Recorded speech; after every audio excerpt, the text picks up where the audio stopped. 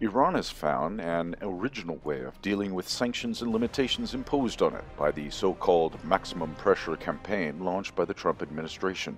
On January 4th, the Navy of the Iranian Islamic Revolutionary Guard Corps detained a South Korea flagged oil tanker in the Strait of Hormuz over an alleged environmental pollution issue. The chemical tanker Hankuk Chemi was inbound to Fujairah in the United Arab Emirates. Ahead of the incident, the United Kingdom Maritime Trade Operations Naval Authority reported that an interaction between Iranian authorities and a merchant vessel in the Strait of Hormuz led the ship to alter its course and proceed into Iranian waters. Following the incident, the South Korean Defense Ministry said that it will send its anti-piracy Cheonghae unit, normally based in the Gulf of Aden, along with helicopters to the Persian Gulf.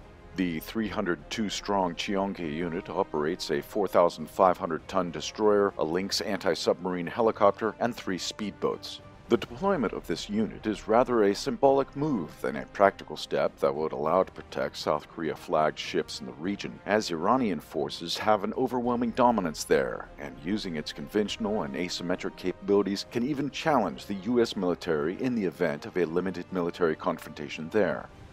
Two days before the seizure of the tanker, Iran said a South Korean diplomat was due to travel to the country to negotiate over billions of dollars in its assets now frozen in Seoul.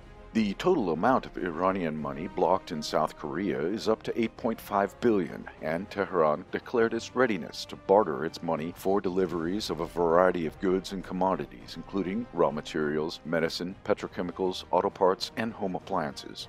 Apparently, Iran thinks that South Korea needs some additional motivation to go contrary to the will of its big brother and accept the Iranian proposal.